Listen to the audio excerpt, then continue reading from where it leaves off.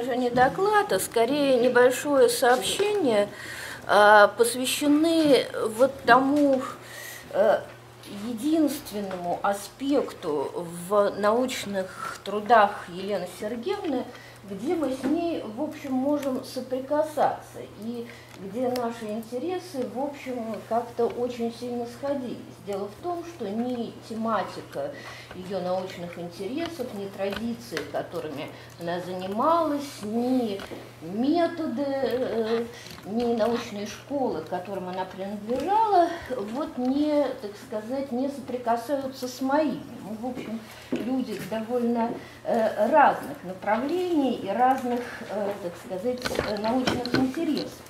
А, но, тем не менее, мне очень хотелось э, вот, выступить на чтениях э, ее памяти, э, поскольку мое к ней уважение и теплые чувства были весьма сильны. И, значит, вот у нас все-таки было одно совместное дело, которым мы занимались вместе, а именно издание сборника работ Петра Григорьевича Богатырева. А, и вот, так сказать, в память о нашей, так сказать, небольшой совместной работе мне бы что-то хотелось вот, э, э, значит, вот сказать. Э, и я выбрала для этого такой аспект, который был ей тоже интересен. А, вопрос о влиянии коммуникативных ситуаций, коммуникации на формирование мифологического текста и на то, как он строится в зависимости вот от тех или иных речевых стратегий э, информанта и собирателя. Я выбрала этот аспект еще и потому, что вот э, он э, также оказывался в центре внимания на наших э, семинарах, и вот мы здесь не, не так давно слушали доклад Александры Игоревны Шевелевой, которая занимается автобиографическими нарративами, и довольно много спорили о том, каким образом информант рассказывает о себе, как он выстраивает автобиографический нарратив, и есть ли вообще в народной культуре некоторая модель по которой человек умеет это делать, на которую он ориентируется при рассказе о себе. И вот э, я помню, что у нас здесь э, даже высказывались мысли о том, что, э, в общем, автобиографический нарратив – это скорее э, э элемент, э, ну, так сказать, письменной э, культуры, э, так сказать, ну, условно говоря, образованных людей, людей, которые включены, там, не знаю, в э, какую-то производственную деятельность и которые, э, которым приходилось писать официальные э, автобиографии да, по каким-либо случаям, и у которых уже наработана некоторая модель, по которой они определяют, что нужно, а чего не нужно писать или рассказывать вот в этом нарративе о своей жизни и о самом себе. А но вот э, э, эта мысль, вы, в общем, э, так сказать, натыкается э, на то э, немаловажное обстоятельство, что э, в наших интервью с самыми разными информантами, в самых разных, вот, живущих в самых разных областях, а, а, в наших интервью, которые посвящены, казалось бы, сугубо мифологическим вопросам, они выстраивают рассказ о том или ином мифологическом событии таким образом, что в центре этого рассказа оказывается повествование о самом себе и о своей ну, трудовой, социальной, семейной, какой угодно деятельности. А, и, э, в общем, в этом был, не было бы ничего необычного, потому что мы с вами все прекрасно знаем, что быличка – это такой специфический жанр, который э, предполагает рассказ о некоем индивидуальном контакте, о, не, рассказ о опыте индивидуального столкновения с мифологическим персонажем. Но э, э, при этом э, этот опыт индивидуального столкновения с тем или иным персонажем или явлением почему-то пропускается вот через некоторые, вкрапления, осколки, элементы рассказа о своей собственной жизни и там каких-то исторических обстоятельствах, в которых это мифологическое столкновение произошло. Э, и вот эти вот э, осколки очень часто воспринимаются а, собирателями как некоторый, ну, условно говоря, мусор как некая досадная, вот никому не нужная информация, которая почему-то вот воспроизводится э, носителем традиции, несмотря на то, что вопрос совершенно не об этом, что она кажется совершенно лишней и вот э, не, э, как бы не отвечающей задачам вот данной былички или данного нарратива, который информант рассказывает. И э, э, вот с этими самыми автобиографическими вкраплениями э, не только я, но и, думаю, каждый э, фольклорист, каждый собиратель традиционной культуры э, сталкивается так или иначе, и очень часто при расшифровке интервью они просто опускаются или там забираются в какие-то кавычки или пересказываются коротко там словами э, э, значит, исследователи, которые это расшифровывают, и вообще выбрасываются из структуры интервью. А тогда как, на мой взгляд, они представляют довольно любопытное явление. Вот именно на таких вещах я бы хотела обратить вот сейчас э, немного остановиться. Собственно, в качестве э, э, такого фрагмента интервью я бы хотела э, взять э, разговор э, с Галиной Федоровной Кутельмах, которая вот справа на... А? Да, сейчас, простите, сейчас нажмем F5. Галина Федоровна Кутельмах, которая находится справа, и, значит, это поселок Самойловка, Самойловского района Саратовской области – Э, с которой мы беседовали, собственно, втроем. Э, ваша покорная слуга, Надя Рычкова и вот находящаяся на этой фотографии Ольга Алексеевна э, Михайлова, директор местного краеведческого музея. А, разговор шел о Значит, разговор был, интервью было довольно длинное, там около двух часов. Я проведу из него только небольшой фрагмент. А, значит, L – это вот фрагмент, где, а, значит, а, говорим только я и вот Галина Федоровна. Л – это я, К – это э, Кутельмах.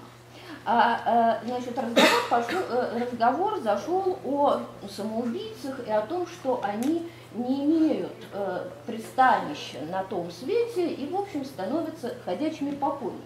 Ну, в общем, очень э, характерный и очень, э, так сказать, э, частотный сюжет, который хорошо известен, вот в том числе в данной традиции. А вот я, с вашего позволения, его прочитаю. А вот вы говорили, что самоубийцы никак не могут пристроиться. Да, не могут. Говорят, что они ходят после смерти. Поэтому они ходят. Вот эти призраки. Это они домой приходят? Так, э, простите, а почему они... А, а, так это... А, а, так получается, нет, знаете, я все-таки нажму escape, чтобы было... Что там не все видно? Э, там не все видно, да. А, э, Извините. Да, вот эти самоубийцы и быстро, как это, быстро умершие. А, вот у меня брат, и дальше она собралась рассказывать э, свою историю о брате, которая относится вот к числу вот этих так называемых быстро умерших. Быстро умершими она называет людей, которые, ну, говоря словами Дмитрия Константиновича Зеленина, не изжили свой срок жизни, умерли молодыми, и именно поэтому стали ходячими покойниками. То есть люди, э, которые говорят церковным языком, умерли напрасной смертью. Вот ее брат именно так и умер. Вот у меня брат. Дальше повисла некоторая пауза, она отмечена многоточием. И дальше начинается, собственно говоря, вот это вкрапление. Я жила во Львовской области, работала на границе таможни. Значит, причем здесь э, работа на границе таможенником. Вот, вы не были там? Во Львовской была. во Львове были? Во Львове была и во Львовской области была. А где вы были во Львовской области? Это Мастильский район. Ой, так я там же жила. Мастиска первая и Мастиска вторая. А я, мы работали в селе Чернява. А, да, Чернява. Это на границе с Польшей. А я работала в Мастиске второй. Я после института там, в таможне работала. У меня в паспорте стояло житель Львовской области, пограничная зона. И вот подождите, я сейчас расскажу. И дальше начинается, собственно, э, жар, значит, вот э, тот рассказ, которого мы все жаждем. У меня там правда, рассказ о брате. Я его устроила на той, на железнодорожную. Товарники, картошку, зерно везут, там это все – там же все с узкоколейки на широкую переставляют. Ну, то есть вот этот процесс, когда с европейской узкой колеи, значит, вот колеса переставляют на нашу широкую колею. Э, он там работал. И там его убило током. Ему 27 лет было. И, конечно, он быстро убиенный. Его действительно. И он мне все время снился. Все время. То он бегает, то на лошади, то так бегает то он хочет меня убить.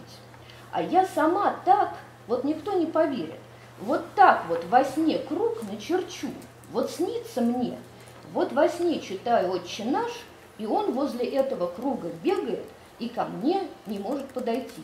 Я тебе нисколько не вру. А, а чем надо начертить? Просто рукой? Да, так вот, рукой показывает, как надо чертить круг во сне. И потом я за ним плакала, очень много плакала. И один раз мы там жили, дом большой, и так тахта стояла. И я уже проснулась, и так дверь. И я так лежу на тахте, а потом я что-то глянула на дверь, и он заходит в черном костюме и белой рубашке. Заходит и смотрит.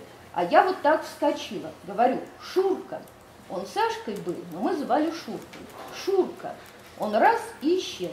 Это вот я раньше верила, кто что говорит. Это действительно было. Ну, значит, плакать нельзя, нельзя. Ну, и дальше интервью продолжается там на другую тему. А, э, значит, я хочу подчеркнуть, что вот этот вот э, э, такой, такая структура рассказа о конкретном мифологическом случае, в которую э, вкрапляются обстоятельства, совершенно никак не относящиеся к делу, так сказать, к мифологическому, к мифологическому сюжету, к мифологической модели, на которую она опирается, выстраивая свой рассказ, э, это, в общем, довольно частотная черта, э, которая, но не обязательно, безусловно, черта, которая встречается э, практически всегда в тех коммуникативных ситуациях общения э, собирателя и информанта, когда информант доверяет собирателю и, значит, вот, если так можно выразиться, раскрепощается. В ситуации, э, вот, когда э, информант по каким-то причинам не считает нужным доверять э, собирателю, да, значит, смыслять его как чужака, как человека, с которым нельзя делиться какой-то личной информацией, ничего подобного не рассказывается. Но и тогда и былички в основном не рассказываются, тогда э, человек ограничивается просто пересказом э, бытующих в традиции поверий. А, значит, Какая, какую же функцию, какую же роль выполняют подобного рода э, вкрапления вот, в э, рассказе э, носителя традиции, зачем они э, в нем нужны?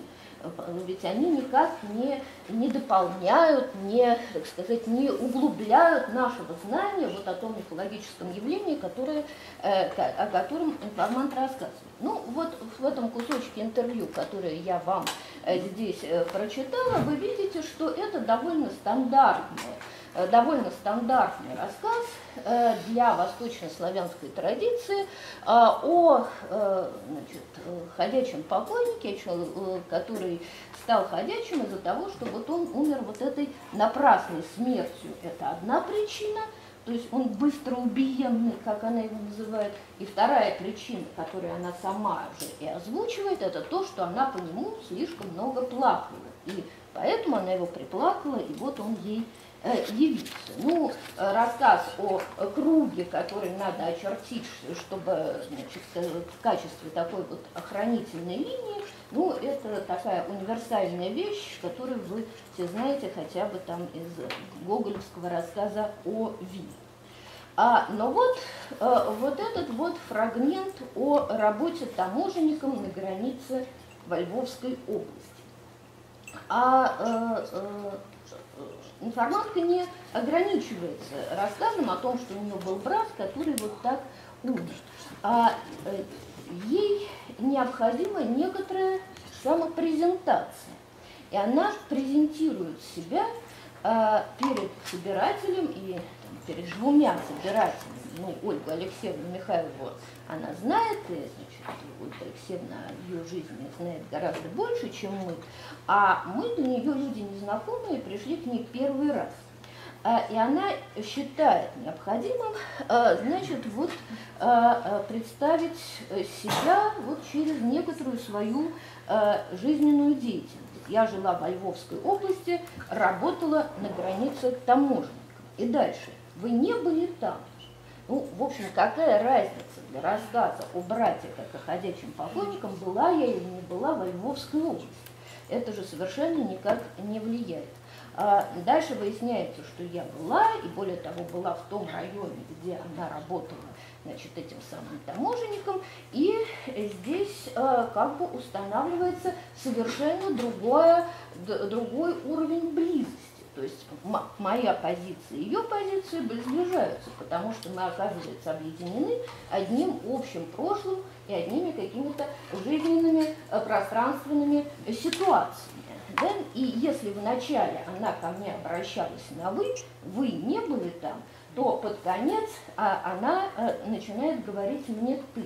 Значит, э, вот это подобного рода рассказ э, служит для информанта, для носителя традиции некой такой стратегии установления некоего общего информационного поля, общего фонда воспоминаний, если так можно выразиться. Э, э, э, значит, вот опора на эти некоторые общие для нас детали наших биографий оказывается для нее чрезвычайно важна для того, чтобы вот рассказывать дальше. А, при том, что а, если до этого она отвечала мне довольно формально и коротко на мои вопросы, а вот говорили, что самоубийцы никак не могут прислушаться, да, не могут. Говорят, что они ходят после смерти, поэтому ходят. Вот эти признаки.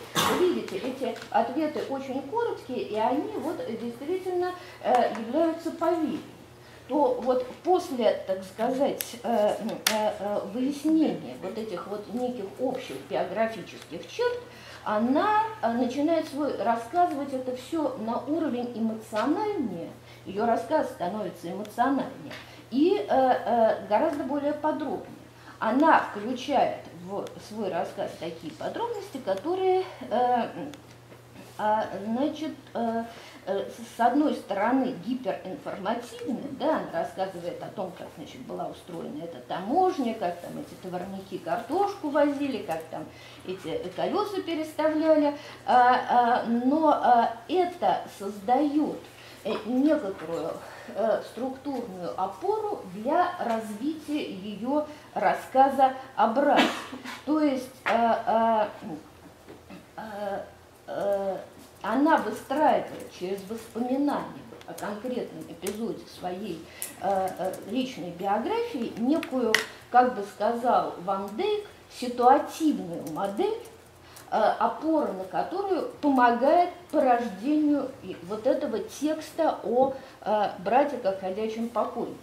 То есть в данном случае э, э, для меня представляется важная мысль, что э, информант опираясь на воспоминания о каких-то своих личных биографических э, э, элементах, э, использует их для выстраивания текста, для выстраивания, выстраивания высказывания в не меньшей степени, чем а, опираясь вот на ту мифологическую модель, которая лежит в его сознании а, а, а, а, и, и которая позволяет ему рассказать и эту быличку, то а, вот а, этот текст мифологический порождается вот с опорой не на одну, так сказать, не, не на одну опору, на мифологическую модель, но биографические биографическая ситуация, в которой э, э, эта модель, э, э, это э, э развивается, э, она служит вот этой второй необходимой опорой для порождения данного текста. Э, и э, поэтому в ситуации, когда информант доверяет собирателю и э, начинает рассказывать былички, да, вот эти рассказы о индивидуальном опыте, он, безусловно, у него возникает потребность в, для вот, сказать, порождения этого текста опираться не только вот на эти мифологические модели, но и на элементы своей собственной биографии. Они включаются неизбежно вот в эту ситуативную структуру ситуативной модели, которая помогает э, воспроизводству или порождению мифологического текста, в данном случае былички. Ну вот, вот э, э такое э, небольшое наблюдение. Я бы только хотела сказать, что э, э, вот анализ некоторого количества э, подобного рода кусочков интервью, взятый э, э из разных текстов, э, из каких-то полесских, из карпатских записей, из некоторых северно-русских, а, э, показывает, что вот как бы тот эм, набор автобиографических вкраплений, которые используются для рассказа э, быличек, он, в общем, довольно универсален и одинаков, и, в общем, практически не меняется, э, то есть не зависит от там, конкретной культурной традиции, ну, вообще, э, э, э, ну, по крайней мере, для э, славянства это так. То есть это указание на семью и семейные обстоятельства, это указание на э, некоторую социальную трудовую деятельность, на, свою, на свой э, э, трудовой статус. Э, и э, э это э, указание на Э, конкретное э, историческое время. Я, простите, позволила себе пропустить некоторые детали, потому что, э, ну, чтобы текст был немножко короче, но там она довольно подробно в реальном интервью говорит о времени, когда это было, и выясняет, а в какое время я была вот в этом самом Мастийском районе. То есть это еще такое вот как бы сверка вот этих временных хронологических элементов. Э, вот, э, вот эти вот три э, биографических элемента, которые как, вот, как вкрапление встраиваются вот в этот рассказ о мифологическом явлении, на мой взгляд, не являются никаким вот сверх, так сказать, не, ну, сверхинформативным, гиперинформативным, ненужным мусором, который информант туда включает, ну, просто потому что ему там как бы поток сознания несет, а он выполняет очень важную а, а, текстопорождающую функцию. То есть он а, является необходимой второй опорой, а, на которую э, опирается человек, а, развивая а, вот это вот свое высказывание о мифологическом персонаже. Все, спасибо большое. Спасибо. Да, ну, э, Евгения, я да. просто, э, вот, э, глядя на ваш пример, э, подумала, что, с другой стороны, тут, кроме всего, что вы назвали, все-таки есть и фабульное обоснование как таковое, потому что она подчеркивает, что это с ним случилось на железной дороге, куда она его устроила, потому что она там работала. То есть да. это отчасти может быть вот ощущение какой-то ее вины в этом. То есть, что вот она его устроила, ну, э, там очень отдаленный, но Просто вот эта сама фраза, я, и я его туда устроила, то есть она там явно есть. Вот, во-первых, ну и какая-то, конечно же, это еще и такой, это не просто какой-то абстрактный рассказ, так можно пересказать ее там, ну малый, у меня брат погиб, и стал ко мне являться. Это, то есть это, в общем, еще и усиление эффекта достоверности за счет э, большего количества материала. То есть, ну, как ну, Да, нет, достоверности у нее там вполне хватает. Она mm-hmm. очень подробно рассказывает, где там тафта стояла, как mm-hmm. она была по отношению к двери, mm-hmm. как она проснулась. Она очень э, подробно и достоверно рассказывает. Mm-hmm. Но, в общем, вопрос, была ли я в Львовской области, mm-hmm. он как-то да, уже... Это, да, нет, вот, это, конечно, да. я имею в виду в плюс к тому, что... Плюс, нет, да, нет, тоже в, плюс к тому, да. Вот я не уверена насчет чувства вины. Нет, я не, ну, не вина, но, э, может быть, я не в том смысле, не совсем, ну, как бы э, в том, ну, что ну, она... Ну, в том, что она повлияла, повлияла на, ее, на это. Да. То есть, что да. вот это ее действие, как бы она нет, же... Да, да, да, нет, в данном случае да. То есть для этого конкретного примером это может угу. работать, но в, в принципе там как бы чувство вины в данном ну, случае это частная деталь для конкретного текста. Там вот угу это не, не является такой вот универсальной. Я все-таки хотела показать некоторые такие э, типичные универсальные вещи.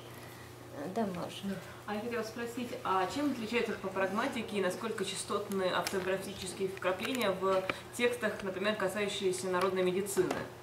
А, а, да, э, медицины тоже, конечно же, потому что э, в медицине, безусловно, человек опирается исключительно почти на свой собственный опыт и опыт э, как бы своей семьи и близкого окружения.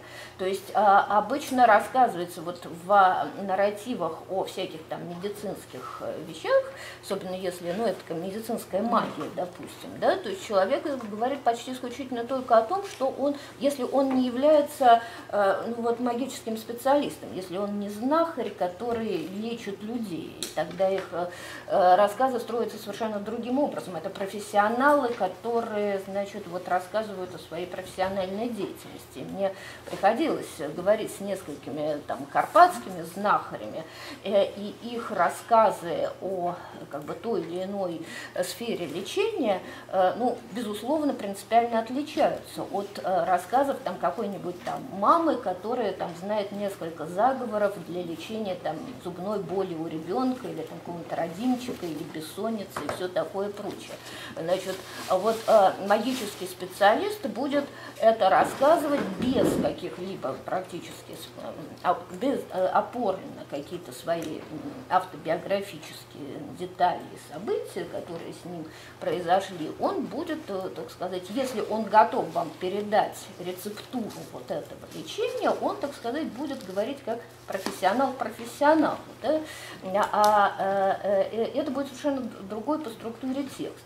А вот а, а, какая-нибудь а, женщина, которая рассказывает о а, том, как она лечила там бессонницу у ребенка и носила его в курятник там под кур и произносила соответствующий заговор, да, она будет а, опираться вот на эти биографические детали, она там расскажет, там, когда у нее родился ребенок, при каких, что это вот я там на второй год, там, там после замужества, вот я вышла замуж, потом у меня родился ребенок, а свекровь там поехала туда-то, я осталась одна.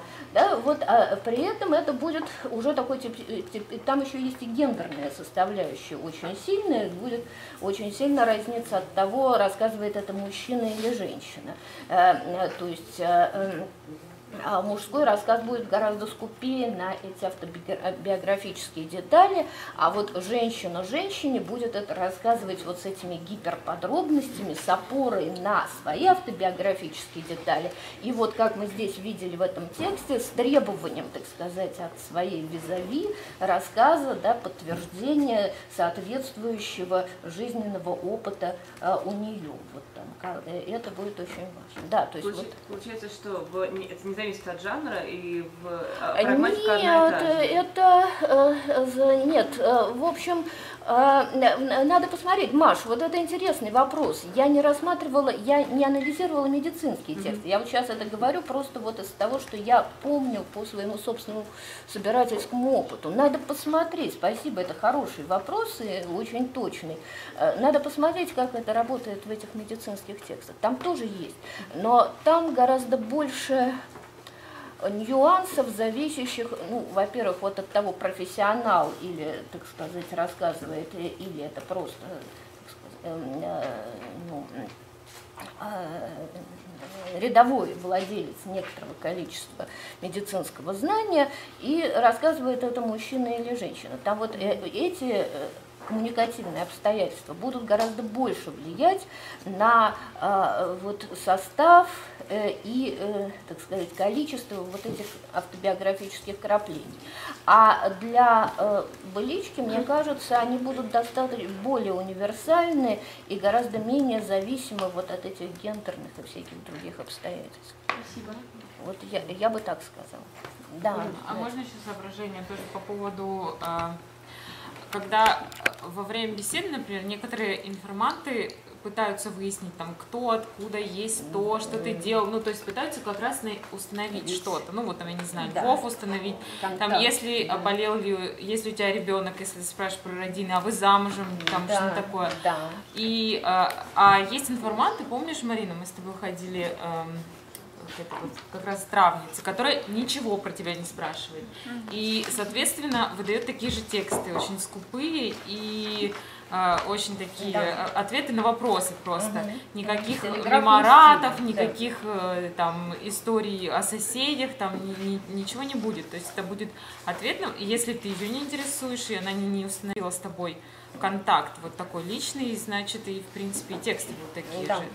Безусловно, есть, да. Поэтому тоже, в принципе. Да, вот я отчасти об этом говорила. Это вопрос доверия. Э, с одной стороны, доверия Э, информанта к собирателю, второе установление некоего общего, так сказать, жизненного опыта, некого общего фонда, э, так сказать, э, фонда жизненного опыта, который объединяет людей. Это вещи, которые сближают, да, и которые уменьшают вот это расстояние между людьми, которые вот были только что совершенно незнакомы. И поэтому для нее а этот, а, то есть э, это еще одно важное обстоятельство, как раз важно э, э, когда информант, э, так сказать, раскрывается и дает наиболее интересную информацию, когда ему интересно с тобой разговаривать, а интересно ему разговаривать, когда ему вы интересны как человек, потому что он, так сказать, совершенно не понимает, э, зачем вы к нему пришли, он не понимает логику ваших вопросов, он не понимает, зачем вы ему эти вопросы задаете. То есть вот научная сторона, которая интересует вас, ему совершенно неведома и не нужна, и непонятна понятна, и он не пытается ее даже понять. Он будет с вами разговаривать и разговаривать искренне, когда он вас видит, увидит э, близкого человека, с который ему интересен и чей жизненный опыт каким-то образом сопряжен с его собственным. И тогда он будет раскрываться и рассказывать вам там все, все подробности. То есть каждый, это не факт, что это может зависеть не от факт. темы, каждый раз, ну там медицина или а, былички, еще что-то, он каждый раз будет искать подход и вот в каждой теме и искать точку соприкосновения. Вот я нашел, ага, и все уже, уже в принципе больше да, ничего не это, надо. Это правда. Это правда. Спасибо. Еще? Да, пожалуйста. Да, Елена Евгеньевна, спасибо огромное. У меня два, э, не знаю, сомнения, поправки. Правильно я понимаю, что вы э, взяли personal, personal experience, да, нарратив, который основан на личном опыте в целом, как рассказ о сне, довольно частный случай, и э, экстраполировали это на весь корпус мифологических рассказов, утверждая ну, буквально следующее, о том, что хронотопная подложка и, скажем так, историческая подложка, которая позволяет сблизить информанта и собирателя, э, позволяет э, текстуализировать некоторые мифологические сюжеты. Это во-первых. А вторая вещь, э, ну, я, я думаю, что нужно ограничить все-таки пока personal experience, да, чтобы быть более точным. А для того, чтобы делать какие-то выводы, нужно взять ну, несколько интервью, можно, я не знаю, все полезки попробовать со снами, с медициной, с быличками, и дальше посмотреть, как они действительно рассказывают былички. То есть есть вероятность, что на самом деле не влияет на степень полноты и текстуализации некоторого текста. То есть я пока не очень понимаю, как это можно, ну, я понимаю, как это можно сделать, но очень хочется статистики. А вторая вещь, э, не кажется ли вам, если расширить эту вашу историю про нарративизацию некоторого личного опыта. А, то есть, грубо говоря, любой человек может рассказать хороший нарратив после того, как мы с ним близко познакомимся. И он расставит некоторые приоритеты, метки, маркеры, это могут быть хронотопные маркеры, какие угодно. То есть, если мы расширим, опять же, мифологический рассказ до некоторого хорошего нарратива, любого абсолютно, может быть, нарратив, история, да, и получается, что, в общем, это можно как сузить, так и расширить. Что получается в итоге? Я, а, А, так, Никита, Понятно, э, да, сейчас, история? подождите. Сначала про первый, который Да, понятнее. Что, что касается э, статистики. Значит, э, я это показала вам всего один пример, не потому что он у меня только Я один понимаю. единственный, а просто как некоторый, э, э, один из многих. Значит, э, э, вот э, я как раз и говорила, что это наблюдение, вот э, некоторой такой э, статистики, где бы я обсчитала и сказала, вот мною там э, обсчитано столько-то там текстов, и из них столько-то содержит вот эти биографические вкрапления, в данный момент я не могу. Я могу только сказать, что это некоторый постоянный элемент, который вполне часто встречается в рассказах информатов. Причем информатов из разных, так сказать, вот э, э, мест э, славянского мира. То есть это некоторая тенденция, которая, которая требует наблюдения и которую не надо выбрасывать как мусор. А, Значит, трудность заключается в том, что а, а, для того, чтобы выяснить статистику, это надо все прослушивать своими ушами, потому что, вот как правило, как я уже сказала, это воспринимается, эта информация воспринимается как некий излишний, так сказать, мусор, который уходит, э, так сказать, в отходы, в полезки, в полезских записях. Вот почему, так сказать, полезские записи, их все целиком надо прослушивать, вот из того, что там осталось э, э, в сохранности на бобинных этих э, пленках, а потому что на карточках, которые там расписывались, там вот только голая мифологическая информация и ничего больше. Вот это все шло, так сказать, в отвалы просто, вот эта информация, которую я сегодня озвучила. Поэтому, в общем, эта работа интересная и перспективная, но она требует вот Ну, некоторого, так сказать, вот, на Самойловке это очень легко и хорошо сделать, потому что мы расшифровывали целые интервью. Это можно, и у нас есть оглавление, по которым это можно вылавливать очень быстро. Вот на Самойловке это действительно сделать очень перспективно. А, э, значит, а, Э, э, по- Поэтому я могу сказать, что, что это есть некоторый очень важный элемент вот, Ну, нарратива, который да. А значит, а второе, значит, вы про, про что? Но Вот, вы, вы- вы- привели некоторый пример э, персонального опыта, да? Э, пример персонального опыта, да. И, соответственно, говорите, что биографические детали, которые идут перед некоторым нарративом, если они идут, они способствуют текстуализации. А, Они идут даже не перед, не перед, они в, в нем находятся, В нем, и они хорошо. способствуют, вот, э, так сказать, реализации той мифологической модели, на которой че- человек опирается, порождая вот эту Да, конкретную но бычку. вы экстраполировали это на весь комплекс мифологических рассказов, говоря о А, мифологическом персонаже а, всего выступления. А а. я говорю, не следует ли это ограничить, во-первых, э, персональным опытом, рассказы, которые используют именно этот опыт, А, для которого очень важны как раз те самые детали. А, э, Никит, а, э, я, может быть, не очень э, аккуратно выразилась, я говорила о как раз персональном опыте, о тех нарративах, которые опираются на некий персональный опыт, который может персональный опыт личный информанта или персональный опыт там, человека, о котором он говорит. Он может передавать эти биографические детали человека, который там, бабушки, которая сталкивалась с этим мифологическим этим лешим или То есть, ходячим получается, для фабулата это, в принципе, не важно. а для фабулата это, в принципе, не важно. Ага. Ну, Ну, не знаю, по крайней мере, вот на сегодняшний день я бы сказала так. Может быть, если мы немножко еще больше э, над этим подумаем, может быть, э, это, в этом можно будет внести коррективы. Ну вот э, просто мне бы хотелось, э, то есть мо- моя задача была обратить ваше внимание вот на э, то, что как бы привычно собирателями как бы воспринимается как некий, так сказать, ненужный, так сказать, мусорный элемент информации, как на некий, безусловно, чрезвычайно важный элемент построения нарратива. Вот, вот, вот этот пафос моей речи был сегодня таков. Спасибо. Спасибо. Спасибо.